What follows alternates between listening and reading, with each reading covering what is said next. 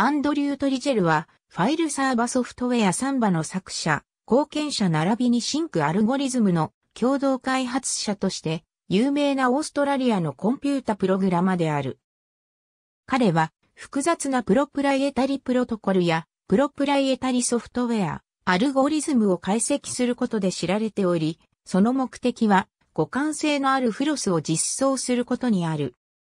トリジェルは Samba の主要開発者であり、主な貢献としては、マイクロソフト Windows オペレーティングシステムが使用するワークグループ用のサーバーメッセージブロックプロトコル、並びにネットワークファイル共有サービスの解析、また、元は Samba の一部であった talloc 階層型メモリアロケータの開発が挙げられる。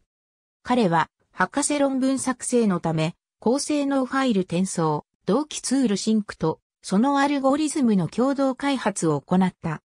彼は、シンクと類似したアルゴリズムを使用するザップアーカイバの作者でもある。彼は、強化学習型チェスエンジン、ナイトカープの作者である。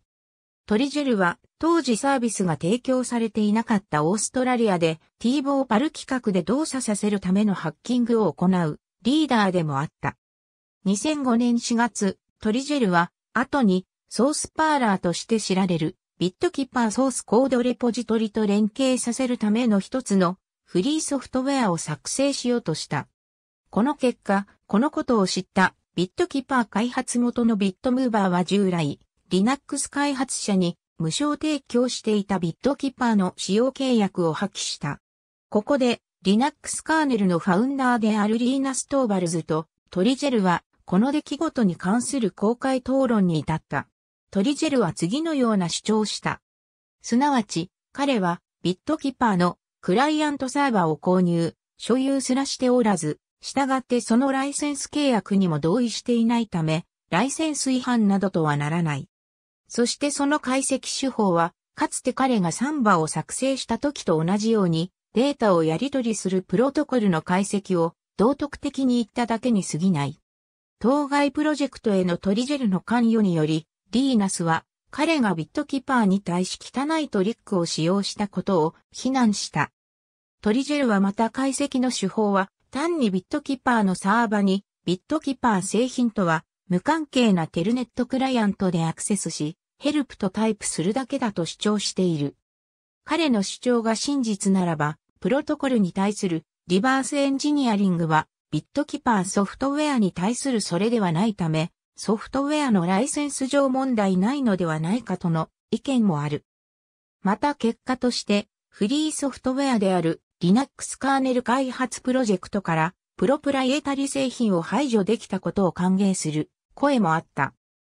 トリジェルはニューサウスウェールズ州ホーンズビーに位置するバーカーカレッジという寄宿制中等教育学校に通い、1984年には州の高等学校認定の認定状を受け取っている。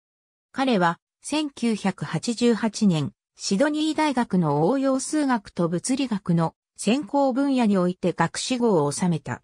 その後、キャンベラに移り、オーストラリア国立大学で理論物理学講座における最上位の成績を収め、優位学位で修了している。トリジェルはオーストラリア国立大学のコンピュータサイエンス研究所で博士号を授与された。博士課程における彼のオリジナルの研究は音声認識の分野であるが、それは完成することはなかった。提出した論文、 Efficient Algorithms, for Sorting Synchronization は、彼の rsync アルゴリズムの成果に基づく。トリジェルのキャリアは1987年から1988年まで勤めていた金融市場におけるコンピュータシミュレーションを設計する業務を担う、 Efam Resources という企業に始まる。彼の業績は5年間市場にて販売されていた、 The Options Analyst という製品に通じる。